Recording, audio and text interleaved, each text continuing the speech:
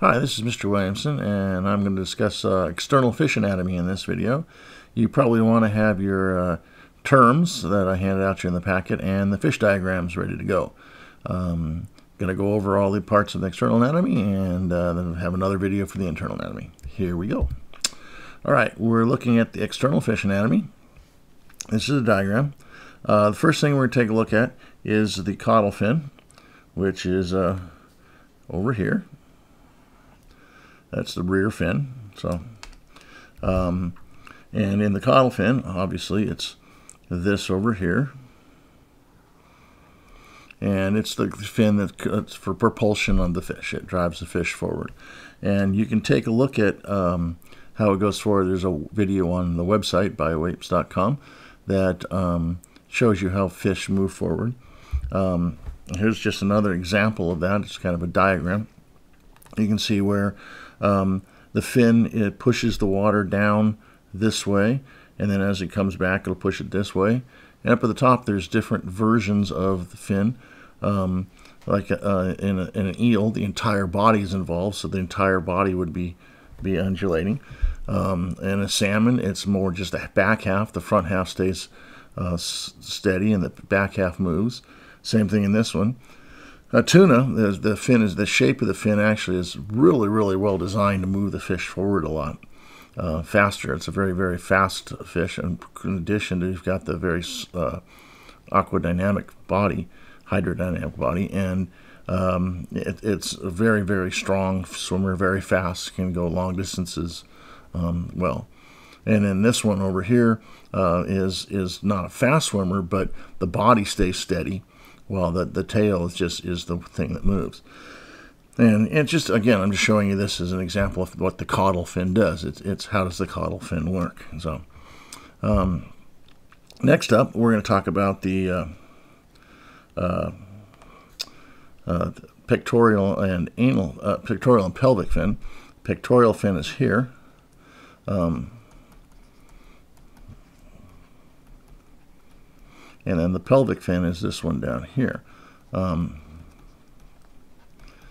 the pelvic fin is uh, down, think of it, your body. Um, as a matter of fact, uh, think of your body. I have the a diagram here. Well, sorry about that. It's it's here. Um, the the pectoral fin is here, and the pelvic fin is down here. Um, and and think of your body. Like I said, your your pelvis is down the bottom. Your pectoral is up on your chest, kind of like this. Um, these are your pectoral muscles up here, and then your pelvis is down here.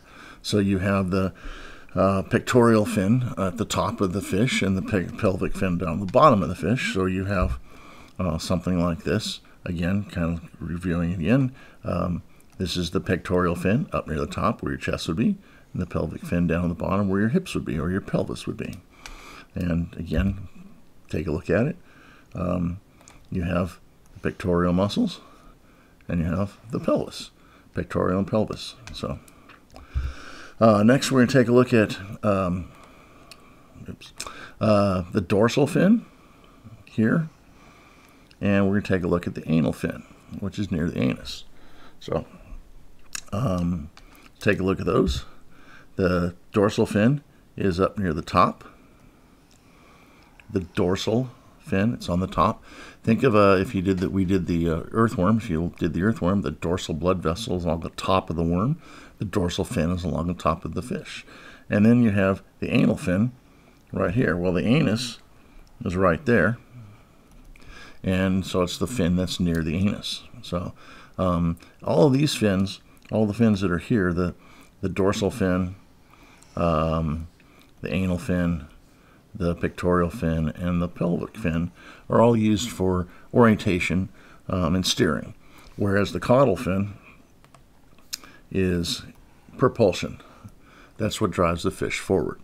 So you don't really need to know those. Again, sometimes it's just nice to know those things, and, and that's what I'm trying to help you out here. All right, so those are the fins. Uh, a couple other things you'd want to take a look at here are the uh, uh, is the lateral line this, that's a poor job of tracing it. This line right here, and it's used for sensory, and uh, it hears, feels vibrations in the water. If you were to splash the water, it would feel it. It's the, uh, the, the um, line that you, if you were a shark, you felt and you, there was a fish thrashing around, you would sense it with that that part of your body. Um, and it's also uh, uh, it, it, it's kind of like the ears. Okay, um, you have the scales, which you can see all the scales here. Okay, all, all over the fish. Um, the scales are just the integument system for the fish. It's where they, you know, it's their skin. Um, you obviously you can see the mouth. Hopefully, you know where that is, and the eye. Uh, the mouth is for eating and also breathing. It, it not breathing, respiration. Uh, the, the the water goes in, and it goes in here, uh, in this area, and it comes out the operculum, which is what this is. Let's draw the operculum here. Um, operculum is this hard flap right there, and it, it's attached at this area, and it covers the gills. So that's the uh, operculum. And then also, if we cut the operculum off, we're going to be taking a look at the gills. And the gills are these. It's the first line on the on the bottom diagram, and it covers. Uh, it's these little half circle right here, and the gills are the site of respiration. Um, you can see them here. Um, you can see it here. These are the gills. Now they're not normally this color. They're actually usually a red, and I'm going to show you some pictures of them. But that's the site of respiration. The, the water would uh, travel in through the mouth and out past over the gills, and there is dissolved oxygen. Oxygen that is absorbed in the water through diffusion, and uh, um, the, the gills are designed and evolved to take that water out of the like that oxygen out of the water and um, take it into the blood system so that the fish can undergo respiration.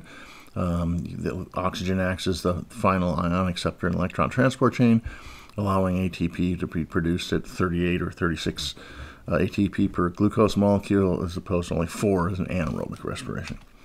So, uh, this is what the gills look like. You can get a good idea. They're much pinker than they are in the picture. And, and here's another version where someone has removed the gills from the uh, the fish. And again, they're very colorful. There's a lot of blood that flows through them because you've got to get all that that blood uh, oxygenated and into the body. So, um, and that's the external anatomy of the fish.